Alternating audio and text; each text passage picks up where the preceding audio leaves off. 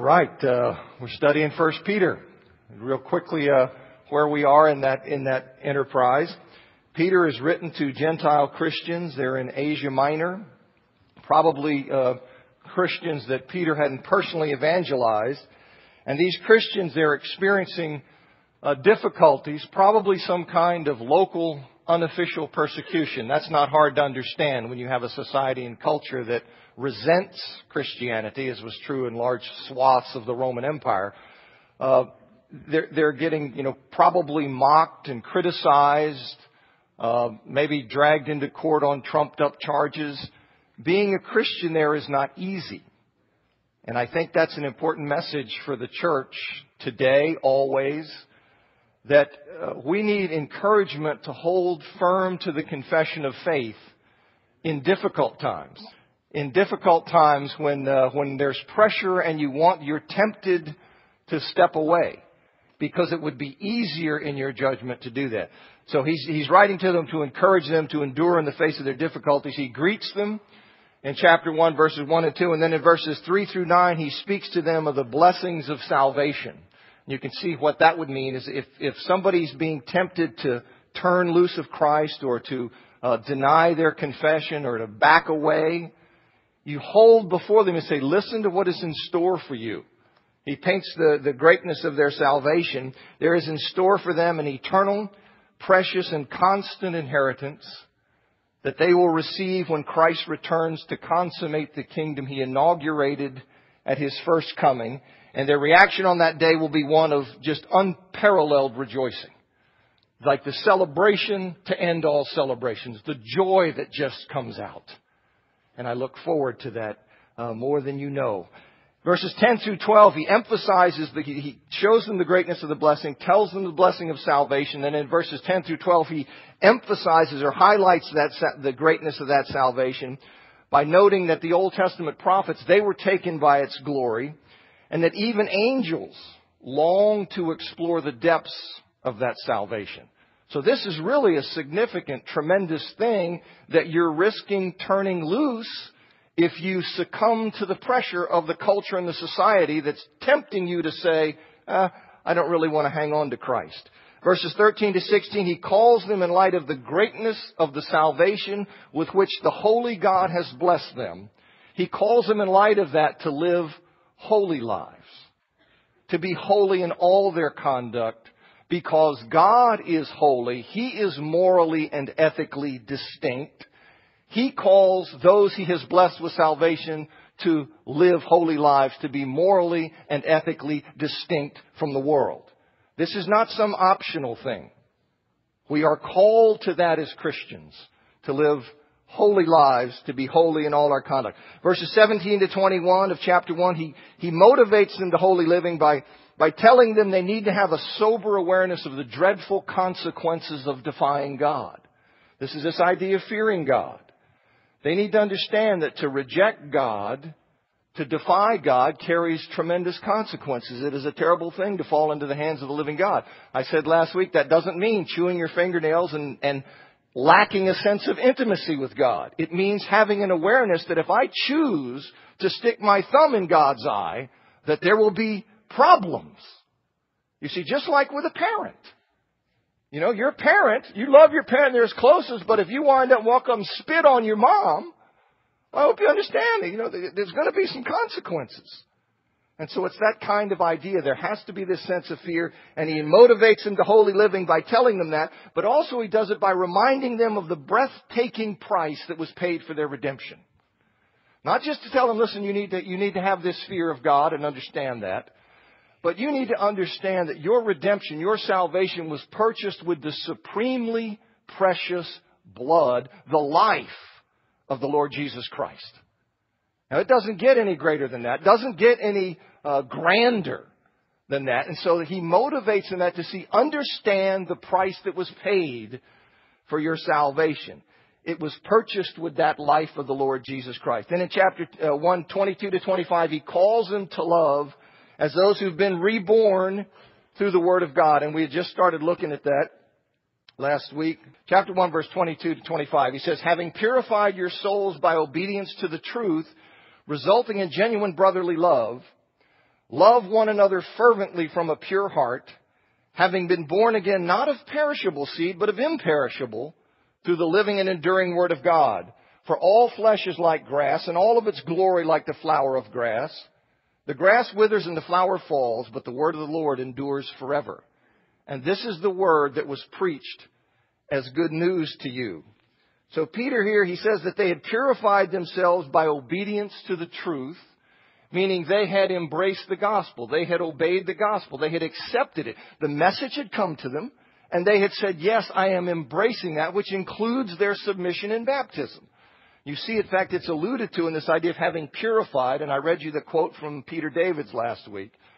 That's an allusion to Old Testament washings in cultic context, but you see in chapter 3 verse 21 very clearly uh, how Peter understands the importance of salvation, I mean, of baptism as part of the acceptance of this message. But he says, he tells them that they purified themselves by obedience to the truth and their conversion resulted in their having a genuine love for fellow Christians. Okay, their conversion, their, their becoming Christians resulted in their having a genuine love for fellow Christians. Their passage from the kingdom of darkness into the kingdom of God, the kingdom of light, it brought them into a special relationship. It brought them into fellowship with all others who had made that same journey. All others who had been rescued all others who were lost, drowning at sea, who had been rescued by the Lord, it brought them into this bond with them. Why? Because we are all the people who have been rescued. I didn't do anything great. I didn't do anything grand. We were all lost in a dire situation. And what happened? We were all fished out. We were all saved. We were, so you see, that brings me in necessarily into a relationship with you. And so this idea, being born into, uh, born again, becoming a Christian, this conversion, it brings us into a special relationship with all people. Conversion, becoming a Christian, it includes entrance into the brotherhood of the redeemed, into the church of Christ. Christianity is not this thing where I am reborn alone and I'm not born into a redeemed community. I, am not the only one. I have saved by Christ, rescued, but so have all these other people. You see, so I am born in this conversion. It brings me into entrance, or it, it, I enter into the brotherhood of the redeemed, and it includes love, loving other Christians simply because they are fellow Christians, because they have been rescued, because they have redeemed, been redeemed. As I have been, so have they been. So there is a loving relationship that flows out of our mutual rescue. But, that's a fact. They have been born into that. But then Peter, uh, Peter commands them to deepen and intensify that love. They are to love one another fervently from a pure heart. Okay, meaning a heart that's not, that's untainted by ulterior motives. So yes, we have been born into this. It is a consequence of our birth that we share a bond with all others who've been, who have likewise been rescued. But that doesn't mean we don't have a role to play where he says, therefore you go ahead and you love one another fervently. You love one another fervently with an untainted heart, no ulterior motives, a pure heart. And see, we are to be intensely committed to the welfare, the blessing, the best interest of brothers and sisters in Christ. That's what it means to love people. You understand that as a parent. You're not always with your child, especially when they get in those teen years. You're not always sitting here going, oh, my baby, she's so wonderful. You're not always doing that. There's sometimes conflict there, but you always love them. Now why is that? Because you always are devoted to their welfare. You have their best interest at heart. You would, if you're a normal, healthy parent, die for them. Right? So even though you're, you're disciplined, doing these other things, there is this commitment. That's what he's saying that we are to have in the church. We have to be intensely committed to the welfare, to the blessing, to the best interest of our brothers and sisters in Christ. We want what's best for them. We want goodness for them. And we are committed to that, and he urges us to do that, not because we're working some angle, not because we've got some ulterior motive and we see that, listen, okay, if I do this, I think I can work this into my advantage. This will come to me. Not because of that. There is no ulterior motive. It's from a pure heart. It's because they are fellow heirs of God's gracious gift of life. That is why he says, listen, you're to love one another fervently from a pure heart. The Bible is full of these kinds of things. And you wonder, you know, we grab on to some things, other things we don't grab onto. Other things, it just seems that they, yeah, yeah, I, I read those words, but I don't really care about that. But here it is sitting right there and in many other places. The instrument of their new birth, he says it wasn't an earthly, perishable seed, like the sperm of a human father, but the heavenly, imperishable seed of the Word of God, which seed quite naturally gives birth to imperishable life, as he referred to in chapter 1 verse 4. So they've been born of this imperishable seed, the Word of God. Everything in this fallen world will, in its fallen state, as it is presently constituted, it will perish, but the Word of the Lord will not. It has no expiration date. It will remain true. It will remain valid throughout eternity. It doesn't matter what society says, what culture says, what time says, that word stands like an absolute rock and it's the truth. It is the Word of God revealed to mankind and it stands. People rail against it, people blow hard against it, it just sits there like a rock. And he says, see, there is no expiration date on the Word of God. That truth will stand valid throughout eternity. And he tells them, and that's the word that was preached to them in the gospel of Christ. The word that gave them new life. What message did you have? It's the word of God. It is the permanent, eternal, forever standing word of God that came to you in this message about what he's done in Jesus Christ. You embraced it. And you've been given new life through that. He wants them to see it. He wants them to understand it. He wants them to know it. And then he says in chapter 2, 1 through 3, he says, Therefore, put away all malice and all deceit and forms of hypocrisy and envy and all acts of slander. I put forms of hypocrisy and acts of slander because those two nouns are plural. And it just seemed that's what he's driving at, hypocrisies and slanders. Okay, as newborn babies, crave the pure rational milk in order that by it you may grow up into salvation since you have tasted that the Lord is good. See, given the need for Christians to love one another fervently, in light of their common birth into a new life through the Word of God, that's why he says, therefore, given that need of them to love one another fervently in light of that new birth through the Word of, word of the Lord, he commands them to put away what? Put away all malice and all deceit, and forms of hypocrisy and envy and all acts of slander. There's no place for any of this in relationships within the body of Christ. Now you might be saying, wait a minute, I've been in churches, uh, you know, and I've paid attention. And it seems like this happens. I know. and it shouldn't. Right? It, it shouldn't, right? Malice? These kinds of things? They shouldn't be there. The Spirit of God is telling us as plain as day, just completely, you know, blatantly just telling us that these things are not supposed to be there. They're not to be part of that.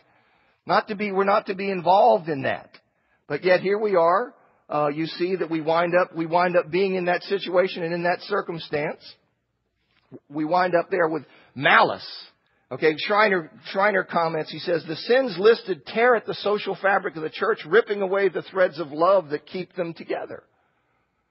Can't you see that? Right? I mean, malice or ill will is the opposite of love. What does malice want? Love is this commitment to another's welfare, to another's blessing, to the best for another person. What is malice? It's the opposite of it. I want bad for you. I want something to happen to you. I have that evil eye on you.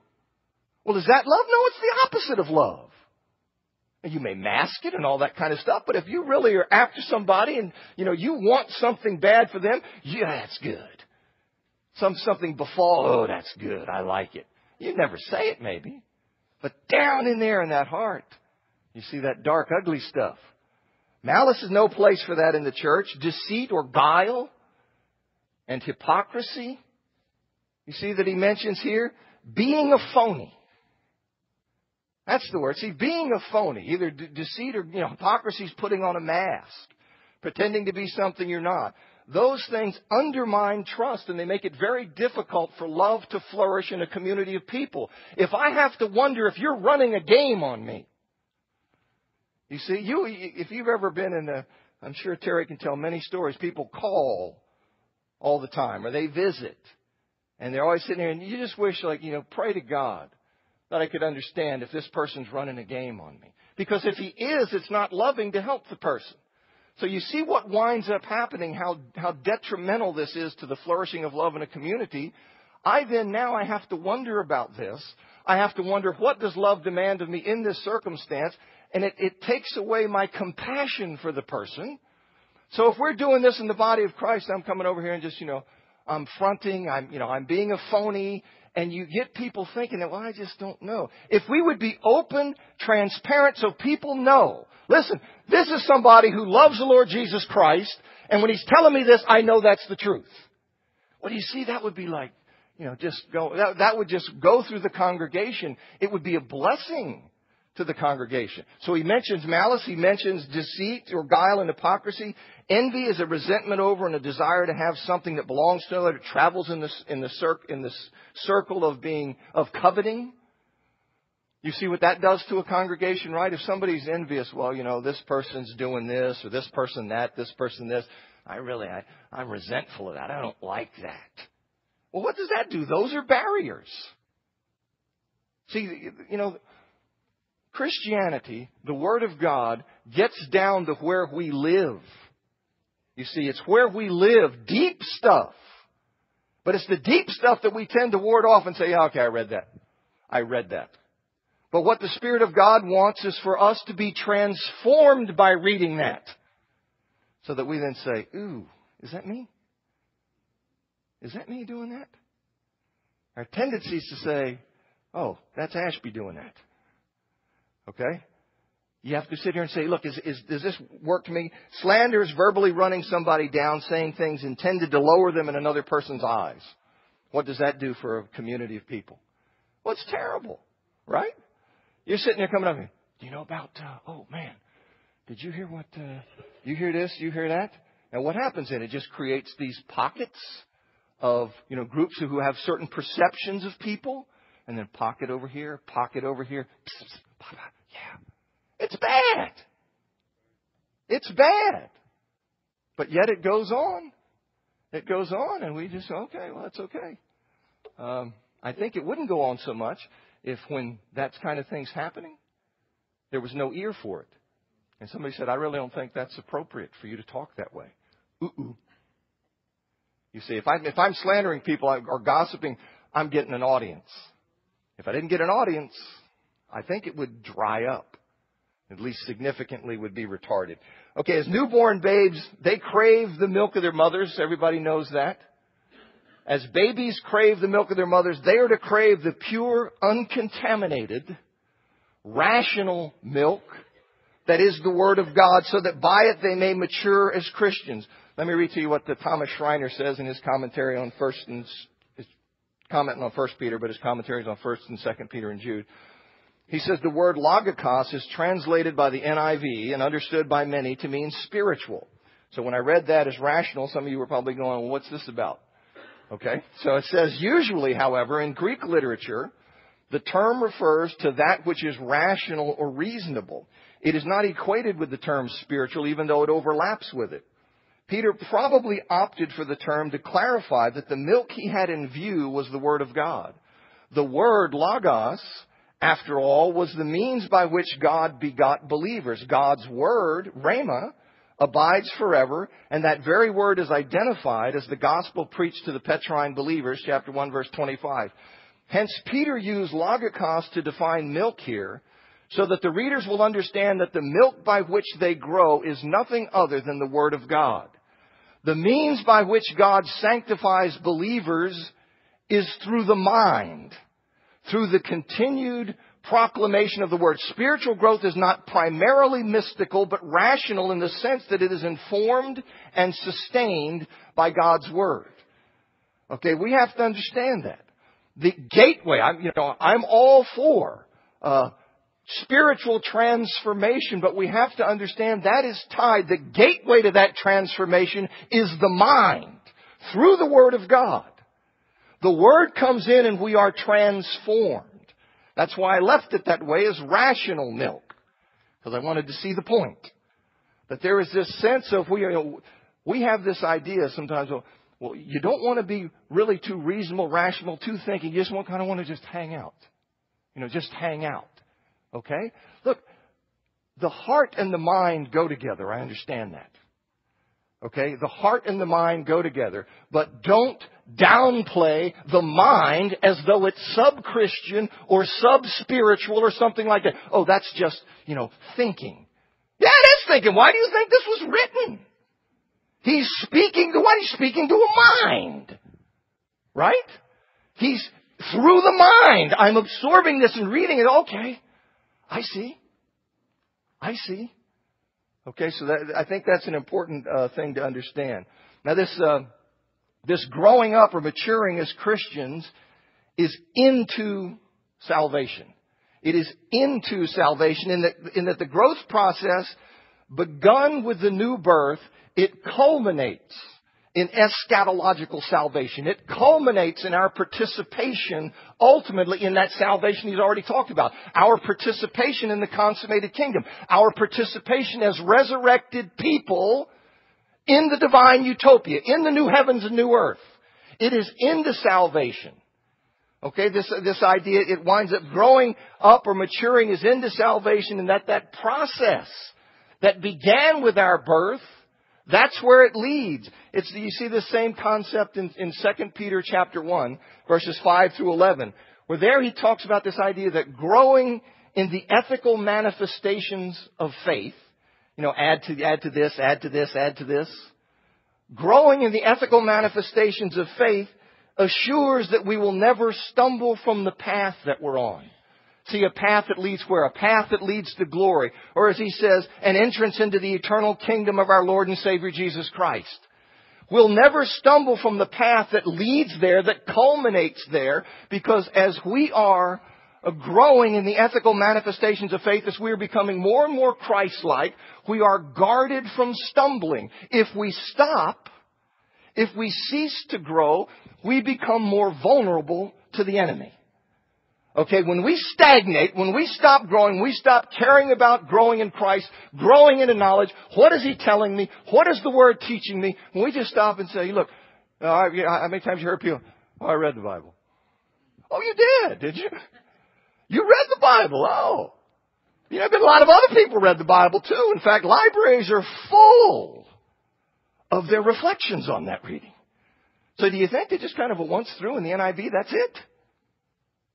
You know, you, that, so now I don't have to mess with it anymore? You see, it's, it's like if you stagnate, you are vulnerable. And I think that's what Second Peter says, and I think it's the same idea that you see here, that this growth through the Word of God is into salvation, that it culminates in our experience of eschatological salvation that he's talked about. This drive for longing to grow spiritually, it flows from their having experienced through their new birth in Christ the Lord's goodness and kindness. He says, since you have tasted that the Lord is good. Who can't amen that who has become a Christian? Who, having been delivered from darkness and hopelessness, meaninglessness, purposelessness, condemnation, delivered into the kingdom of the glory of God. Who can't say that you've tasted that the Lord is good? Okay, he tells them that's the motivation for this. You've tasted that the Lord is good. Alright, chapter 2 verses 4 through 10.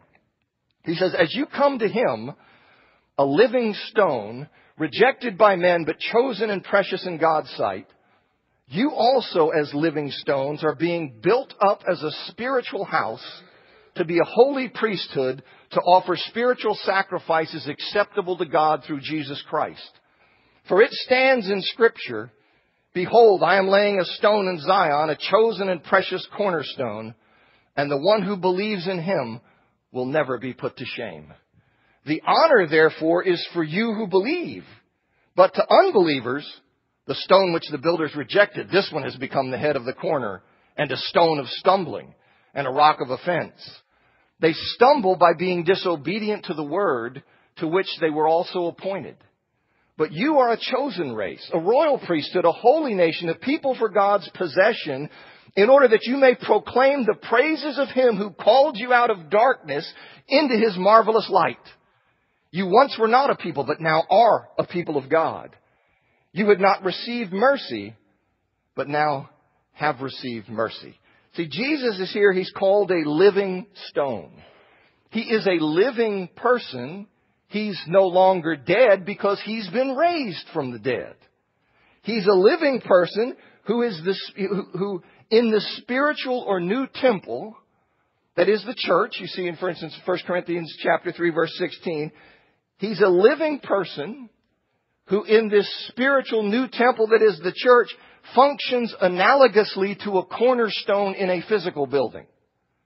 Okay, he's the living stone. Well, he's living and he functions in this spiritual temple, the church, this new temple that God is building. He functions analogously to a cornerstone in a physical building. You can see the same imagery in Ephesians 2, 19 to 22. You see, in ancient times, a cornerstone just wasn't a decorative thing. You didn't build something, have it all constructed, and you slap this stone in there that says dedicated in 2010. That wasn't what, that wasn't what it was. It was the, it was the first stone laid. And see, it set the line or the standard by which the walls of the temple were constructed. So Christ in the new temple, the spiritual temple that is the church, functions analogously to a cornerstone in a physical temple because He is the standard. You see, He is the standard. So He refers here, He says that Jesus is a living stone, and then He tells them that as they convert to Christ, they are what? They are incorporated into the new temple that God is building. We are incorporated into the church. Peter Davids in his commentary in the New International Commentary on the New Testament, he says that temple imagery is intended is clear. It's clear from the usual use of the building image in the New Testament. Cites a number of texts, 1 Corinthians 3, 2 Corinthians 6, uh, 1 Timothy, Ephesians 2, Hebrews 3, Hebrews 10. He says that the temple image, that, te- that temple imagery is intended is clear from the usual use of the building image in the New Testament, from the house language in 1 Peter 4:17 that uses the Septuagint's language for the temple, and from the easy shift to priesthood and sacrifice in context. So he speaks of a house, but he's speaking of the temple. And he's speaking of the new temple, the new spiritual temple that God is building in the church. And these people are being added to it. They are brought into it. They are added to it in their conversion. And their incorporation into the new temple through faith in Christ is with their purpose, the purpose of their being a holy priesthood. Is, their incorporation into this is with the purpose of their being a holy priesthood that offers to God spiritual sacrifices rather than the physical sacrifices of the Jewish priesthood under the Old Covenant. So we have been brought into, you see how he shifts here. We are the temple. We are the stones in there, but we also are what? We are a holy priesthood in this temple. You see, and what are we doing? We are called to be this holy priesthood that we might offer spiritual sacrifices rather than these physical sacrifices that were typical in, in uh, Jewish religion under the Old Covenant. Now these spiritual sacrifices, he says, what are they acceptable to God? What? Through Jesus Christ. You see, it is through Jesus Christ that we become proper vehicles of offerings to God. We have been made holy, set apart, just as you had priests what? Priests had to be set apart, sanctified, designated, so that they may bring offerings to God. Those in Christ have been set apart, sanctified, cleansed, made holy, that we can bring offerings to God that are acceptable to Him. So that is what we are. We are a priesthood that has been prepared, equipped, given by God the blessing of offering things to Him that are acceptable to Him. Now that doesn't mean that He despises all that, that non-Christians do. I'm aware of Cornelius, that his prayers and alms, they came up as a remembrance, but there is a sense of acceptance by God that only is through Jesus Christ. You see, it's not one of these things, all religions are the same. I don't care if you go this route or that route. We could get to this same point in a number of different ways. But he's saying, listen, it is through Christ. It is through Jesus Christ. Now, I'm sorry if that offends our culture, our pluralistic society that says you can't say that. Oh, but I can. You see, I can. And I will say it until they do something to me. Because it's the truth. And it's not helping anybody by sitting here and going, okay, no, that's right. Jesus isn't special. Anything you want to do. They all, what's happening to the person? You've denied that person the truth that can save them. Alright, now what's that about? What would we call that? We would say, you didn't really love that person. You didn't really love that person. You were, because why? You didn't want him to think poorly of you. Well, love will allow the person to think poorly of them to bless the person, right? Yeah, that's right. So I think that's, that's an important thing, a point that he makes. Now, the nature of the spiritual sacrifices, the nature of the spiritual sacrifices Peter has in mind, they're indicated in verse 9. See, they're indicated there where he says that the purpose of their being a royal priesthood, he brings the priesthood back up, is to proclaim the praises of him who called you out of darkness into his marvelous light. Now there are many people, uh, scholars, many people who, who understand this as being that the purpose is that we are to be a priesthood, that we are to proclaim into the world, that we are to be evangelistic, we are to proclaim to the world God's uh, praises of him who called you out. I, I don't think that's right. Okay? I'm not inspired. I'm just a sinner who grunts around and tries to understand. I don't think that's right. Many people do. I could be wrong. Okay? But what I think is, is that he is talking about the praises that we offer to God in worship. Let me read to you from J. Ramsey Michaels' commentary. He quotes in part here another New Testament scholar, a guy named David Balch. But he says, in context where ex angelo, that's the word proclaim used here, it's a rare word in the New Testament. He says in context where exangelo refers to proclaiming the praises, deeds, righteousness, or works of God, the proclaiming always is to God in worship. Okay, and you see all these these uh, uh, texts that he cites in Psalms and Sirach and some other places, Philo. The bracketed uh, verses, they're the that's the English versification. The ones that aren't in brackets are from the Septuagint. Okay, he continues and he says, whatever else they may imply, the spiritual sacrifices are first of all the praise of God by His people. You see, this is similar to Hebrews 13:15. Hebrews 13:15 says, "Through him then let us always offer up to God a sacrifice of praise, that is the fruit of lips praising his name." And as William Lane says in his commentary on Hebrews, he says the writer of Hebrews draws upon a tradition of, of a song of praise which the community offers to God. Let me read to you a, a, a two slide quote here from Edmund Clowney in his commentary on 1 Peter. He says, Peter says that we have been brought from darkness to light and made a priesthood so that we may show forth God's praises. This spiritual worship has no earthly altar or ark. It has transcended the elaborate ceremonials of Old Testament worship. It is vain to imitate pageantry, to imitate in pageantry the ceremonies that ended when the veil of the temple was torn in two. Yet worship remains the central calling not only of the Christian, but of the Christian church. It finds its burning focus in lifting the name of God in adoration. This function of the priesthood cannot be delegated. God's praises must rise from the lips of all his people assembled before his face and joining with the festival assembly of the saints and angels. Nothing can be put above worship. We adore God not to gain his favor, but because adoration is our response to his grace. We are to be sure uniquely blessed through worship, and as God's worshipers we seek his blessing, but the core of our worship is not receiving, but giving. Peter reminds us that, that, in, that the inestimable privilege of entering the presence of the Lord contains a yet greater privilege to lift His name in praise. If the singing and speaking forth of the praises of God are viewed as preliminaries to the sermon, the meaning of worship has been lost. You see, I fear sometimes we think that, you know, we're here and what we're doing, it's just the prelude to the sermon. I'm, I'm a big believer in the power of speaking the Word of God. Because I think the sermon is a critical part of our interaction with God because through it God speaks to us and we submit to His Word that is presented to us. So I don't downplay preaching at all. But I want us to see that this is not some just preliminary thing to get out of the way. You see, it is a very important, a very significant thing that is going on. You know, we've worried so much, in my judgment, we've worried so much about reducing Christianity to nothing more than our gatherings for worship.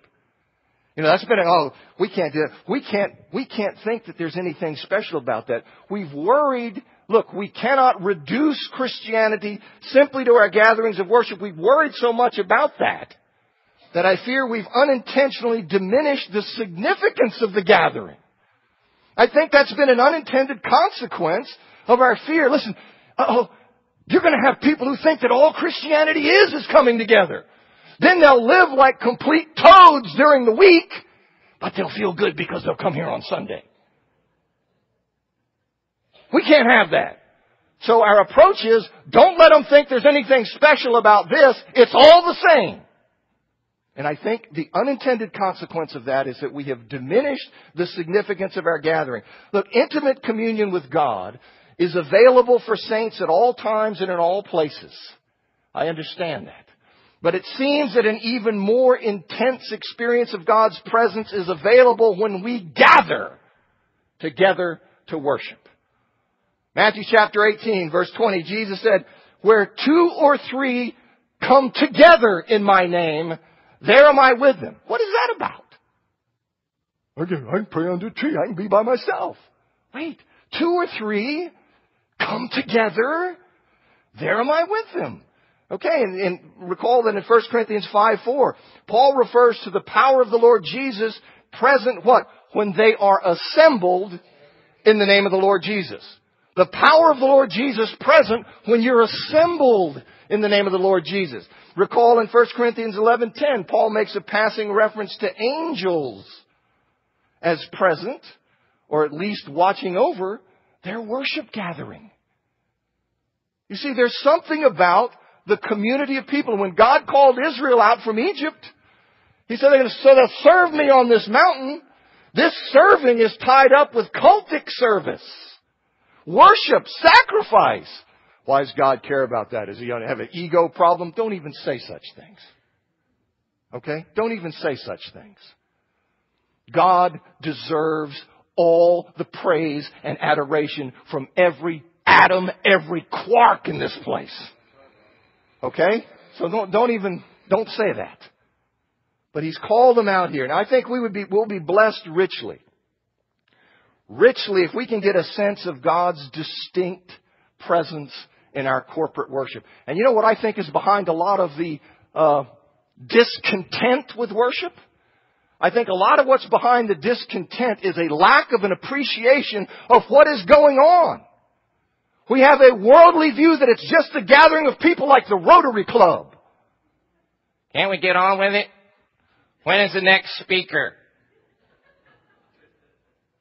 We don't get it. Okay?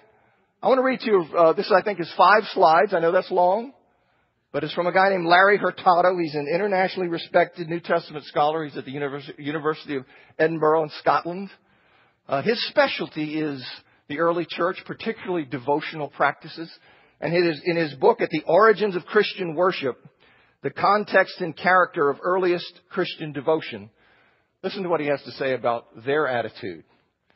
He says, the author of Hebrews speaks of participation in the community of Christian believers in awesome terms.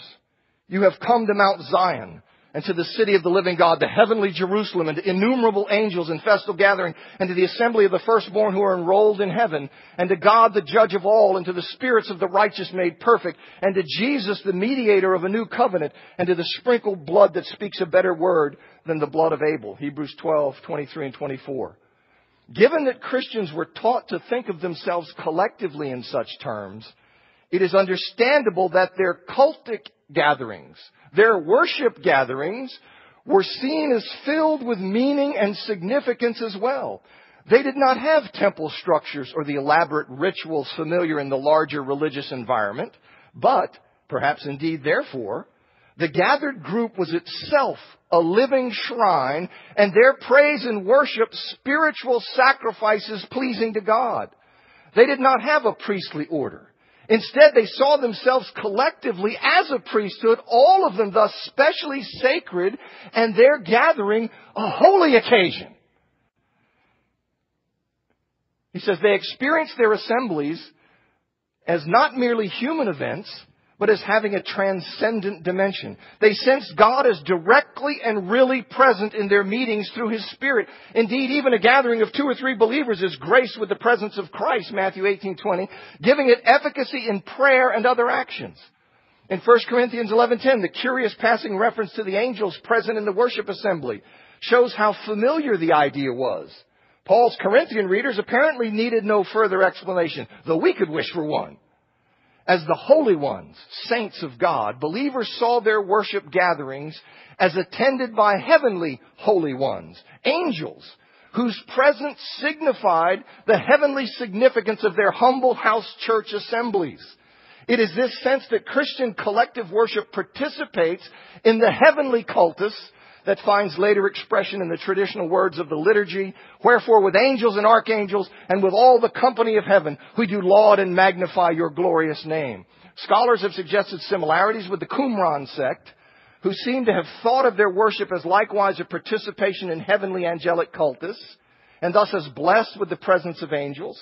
The point is that in their sense of their worship gatherings as an extension of and participation in the idealized worship of the heavenly host, and in their view of their gatherings as graced with God's holy angels, they express a vivid, transcendent significance pertaining to these occasions.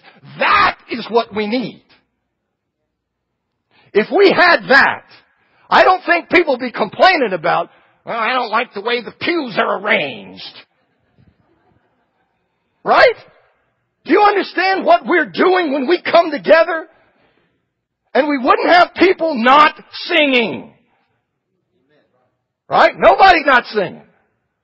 Why? Because we're in the presence of God and we are telling Him, extolling His glory. As a community of redeemed people all before Him. We're just praising Him. Nobody not singing. Okay, it's not about the beauty of your voice and the note. It is about your spirit expressing the, thank you! Holy One! Glorious One! Right? And I think, see, that will help. But this is the sense. This is what I think is, is the key, is the transcendent dimension. Thanks for coming.